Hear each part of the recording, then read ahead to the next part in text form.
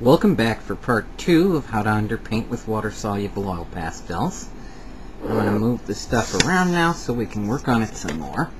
You might have noticed that in the tree drawing video, I was using a trick from the colorist method of painting. Doing the shadows in a cool color on all the foliage clumps, and then the highlights in a warm color. So let's use that color arrangement because it worked so well before. And get some nice shadows worked in here on the tree. We've decided the light's coming in from the right and the shadows come are on the left. So when we go to shading the distant tree, it'll be the same thing.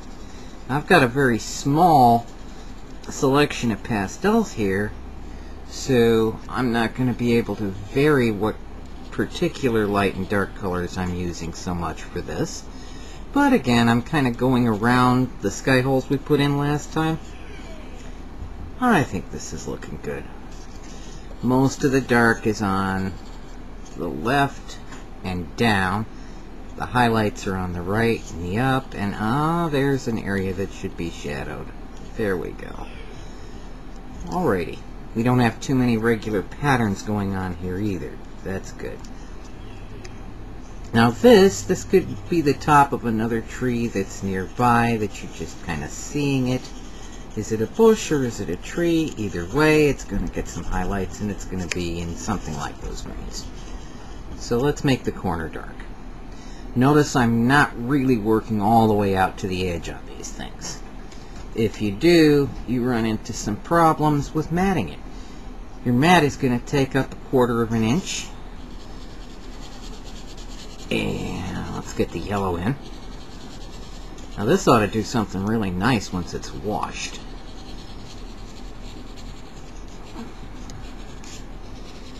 Your whole composition will change if you have the painting going all the way out to the edge of the paper because what happens there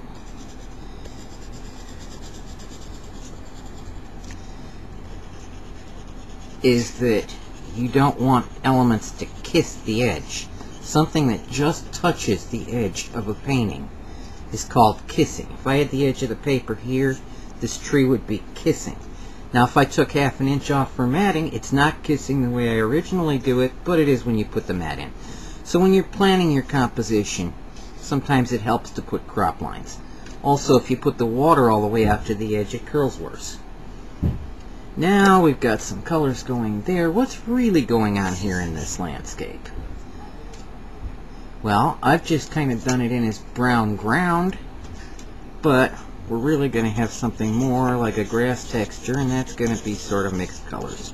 But let's underpaint it with green anyway. That's the local color.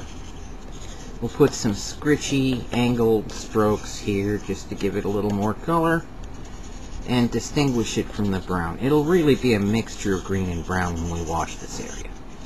I'm washing each area separately now. Run some blue on the shadow side of the tree trunk the dark blue, which will wind up mixing in. See how that's shaded? We'll give a trunk to these little trees. And you don't see the trunk on this one that you're just seeing the top of it. So, let's bring some brown in on these trunks. And we'll give it another one there. So there's like three of them over there in the distance. It's another composition principle that you want to have odd numbers of objects. I've got three main tree shapes here. We'll go over all the yellow first, which will pick up some blue into it and turn into a light green. But we don't want it to get too dark in the underpainting. We can add more color later on. The dark patches, they're going to be pretty dramatic. They're going to be darker than the sky. Where I go up into the sky, you're seeing a little edge form. That's fine. Don't try to be perfect in an underpainting. you're going to go in and detail it later on with dry work and other layers. And this first painted layer is very thin. The texture of the paper is just fine for adding more pastels to it. So here we go into the shadows on the tree. Distinguish that bit of a brown branch from this. Unfortunately, I've had to use the same shade of dark blue for the distant mountains as the shadows on the tree. But maybe we can do something about that later on when we're adding more layers. At least we've got the colors in now. Get in on the shadows of the smaller trees in the distance. Get everything washed. And wash in this little bush or tree or whatever this is in the foreground.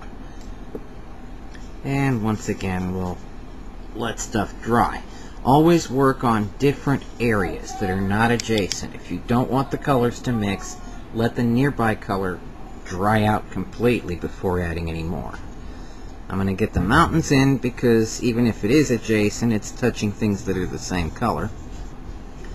Notice how much darker the distant mountains are than the sky. This is important.